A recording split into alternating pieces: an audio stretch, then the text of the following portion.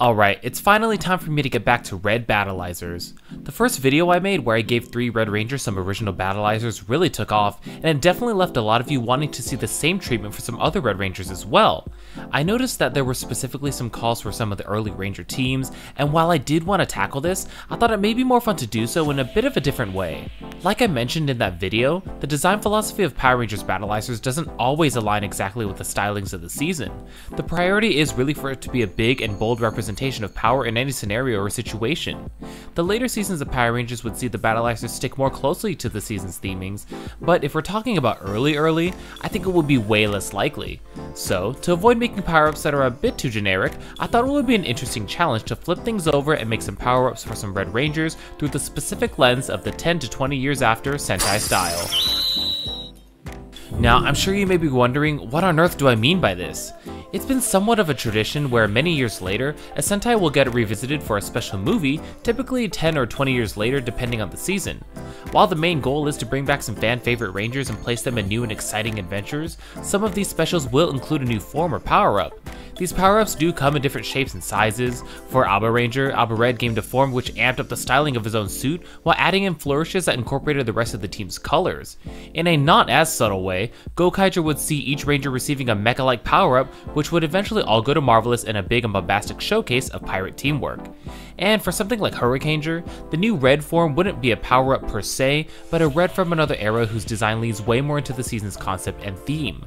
While the styling varies from embracing the solo red power to the collective team's power, I think it's important for these new forms to have a wow factor that resonates closely with the theme.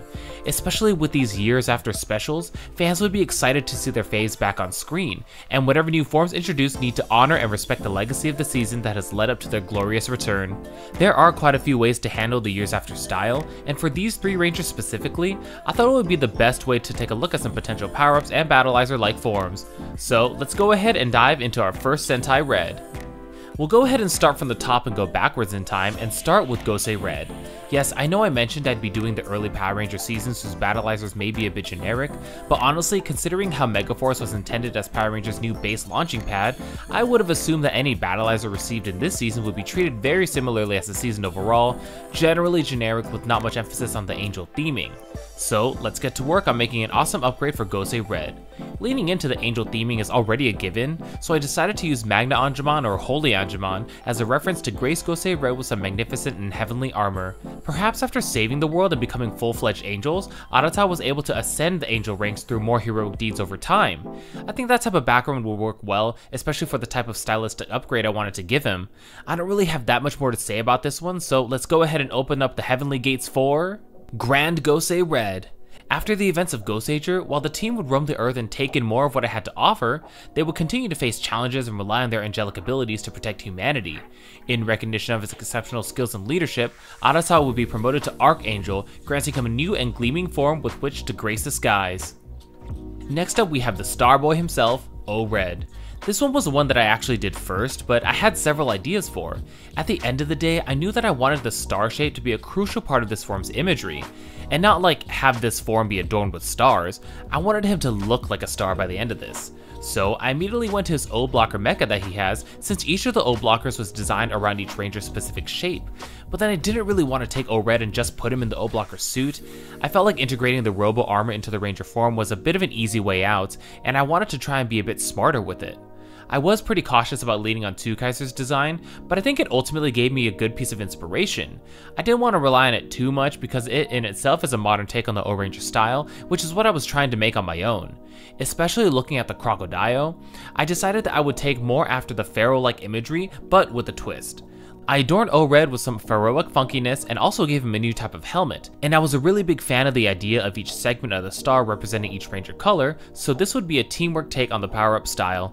The end result is kinda wacky, but I think it's fun. Make way for...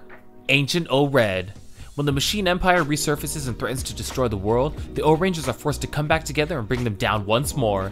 With their powers being increased after all this time, the Ohrangers have no choice but to combine their powers into one, granting Goro this new form that utilizes each of the Rangers' strengths and true Choriki power. Last but not least is one of the most popular Ranger designs out there, Tyranno Ranger.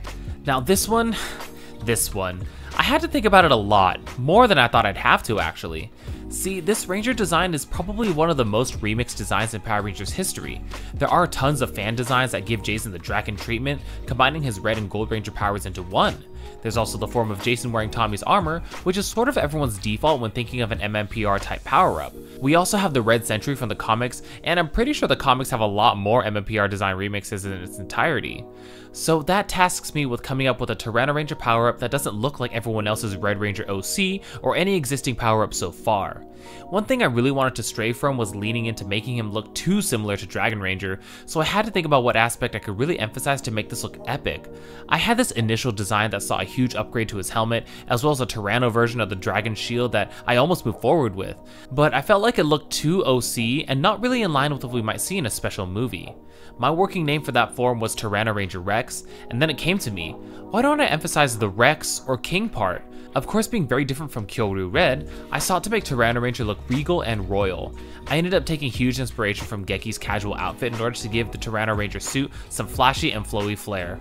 I also put an image of the Tyranno coin in the center, sort of as an homage to when they did this in MMPR. I wanted to also enhance the details of his suit by adding gold lining around the diamonds, making it feel more premium. Ultimately, I really like what we landed on. All rise for Tyranno Ranger Rex. No stranger to saving the world before, Geki promptly descends when mightier threats beckon his return. This time, he brings about the true might of the king of the dinosaurs in his new and improved form, delivering prehistoric power in majestic proportions. And here are our years after power-ups, or I guess you could call them Sentai exclusive battleizers. Which one do you like the best? And could you see any of them being used in a future special for the series?